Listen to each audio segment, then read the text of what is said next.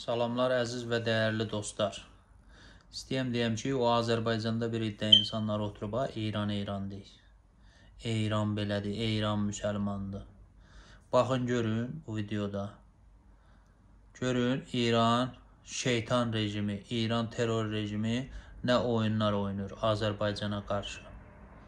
Bir daha İran İran deməyin bu videoyu izləyəndən sonra.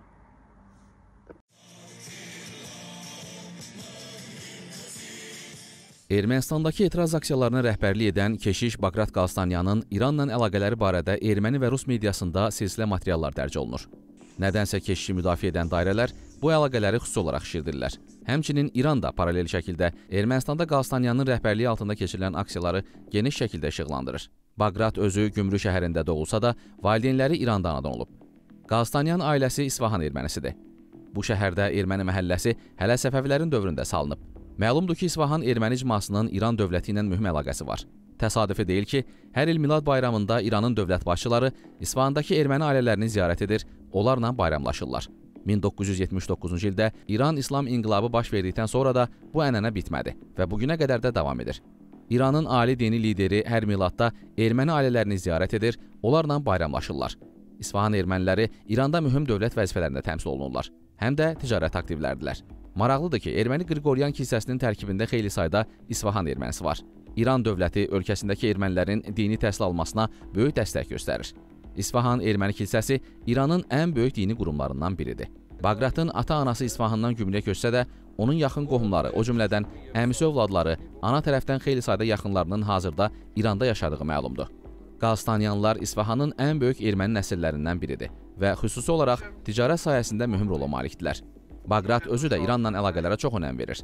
Məsələn, İran prezidenti İbrahim Rəisi və digər dövlət rəsmiləri qəzaya uğradıqdan sonra müxalif keşiş İranın Ermənistandakı səfirliyində peyda oldu. İran xalqının acısını paylaşdığını etiraf etdi. Diqqət çəkən digər məqam isə onun İran səfirliyi tərəfindən olduqca isti qarşılanmasıdır. Bütün bu hadisələr istər-istəməz ağla bir sual gətirir. Ermənistanda keçirilən aksiyalarda görəsən İranın əli var? Nikol Paşinyanın qərblə yaxınlaşması, bölgəyə Avropa dövlətlərini gətirmək istəməsi, Həmçinin Ermənistanın qərbə doğru inteqrasiyası İranda ciddi narahatlıq yaratmışdı. Üç tərəfli Brüssel görüşünə İran nə qədər rəsmi şəkildə reaksiya verməsə də, bu görüşdən narazı olduğu bilinirdi.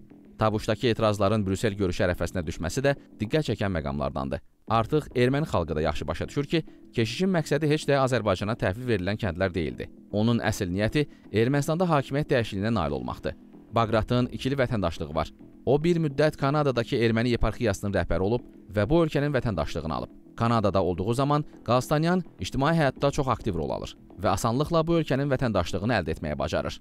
O həm də burada qərb diplomatları ilə mühüm görüşlər keçirir, dövlət tədbirlərində aktiv iştirak edirdi. Onun Kanadada biznesinin olduğu da istisna edilmir. Çünki indi də ora tez-tez gedir. Diqqət çəkən digər bir məqam isə ümumilikdə erməni Qriqoryan kilsəsi və İran dövləti arasında olan sıx bağlılıqdır.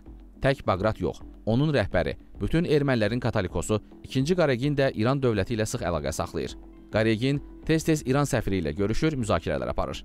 Keçən il İranda baş verən dəhşətli zəlzələyə görə İran prezidenti İbrahim Rəisiyə şəxsən zəng edən Katolikosun bu davranışı Ermənistan mediasının da diqqətindən yayınmayıb. Bu ölkənin dini liderinin digər ölkənin rəhbərinə telefonla zəng etməsi, birbaşa əlaqələrə çıxması protokol qaydalarına uyğun deyil. Bu kimi hallara regionun heç bir dövlətində rast gəlinmir. Qareginin digər dövlət rəhbərləri ilə belə bir səmimiyyətinə rast gəlinməyib. Mayın əvvəlində isə İranın İslami Mədəniyyət və Əlaqələndirmə Təşkilatının rəhbəri Məhəmməd Mehdi İmanipur Qareginlə görüşərək geniş fikir mübadiləsi aparıb. İmanipurun vəzifəsi İranın digər İslam ölkələri ilə mədəni əlaqələrini təmin etməkdir. Bəs görəsən İmanipur məscidləri tarmar edən Ermənistanda hansı İslam mədəniyyətini görüb ki, tez-tez bu ölkəni ziyarət edir? Qaregindən başqa Qalstanyanın özünün də bu təşkilatla əməkdaşlığına dair iddialar var. İmanipur tez-tez Ermənistanda müxtəlif bölgələrin arxiyepiskopları ilə görüşlər keçirir, fikir mübadiləsi aparır.